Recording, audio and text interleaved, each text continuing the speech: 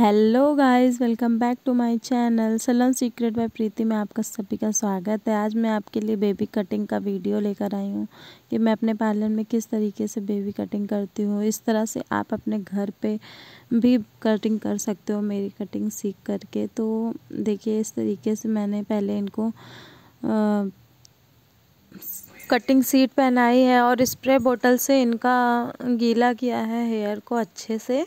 उसके बाद मैंने कटिंग स्टार्ट करी है। तो आप लोगों को भी इसी तरीके से करना है क्योंकि सूखे हेयर में करने से कहीं ना कहीं पे रह ही जाता है। तो इस तरीके से कॉम में फंसाने से ये हो जाता है कि हाँ एक भी हेयर आपका जल्दी इधर उधर नहीं होता है। तो इसी तरह आप लोग भी कॉम में फंसा करके और ऐसे ही कटिंग करेंगे तो बहुत ही अच्छे से आपका हो जाएगा। तो हमेशा बेबी कट ज़्यादातर राउंड शेप में ही होता है।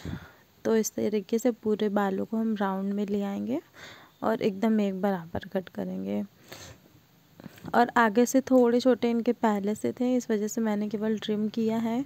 आगे की मुझे लेंथ और बड़ी रखनी चाहिए थी, क्योंकि वो उनकी थी ही नहीं ऐसी, इस वजह से मैंने थोड़ा थोड़ा केवल ट्रिम कर दिया है बस। तो आप लोग भी अगर अपने पार्लर में इस तरीके से करेंगे तो बहुत ही अच्छा लुक आता है बेबी कट का। बस आपकी कटिंग में फिनिशिंग रहनी चाहिए। तो इस तरीके से आपको भी कटिंग करना है।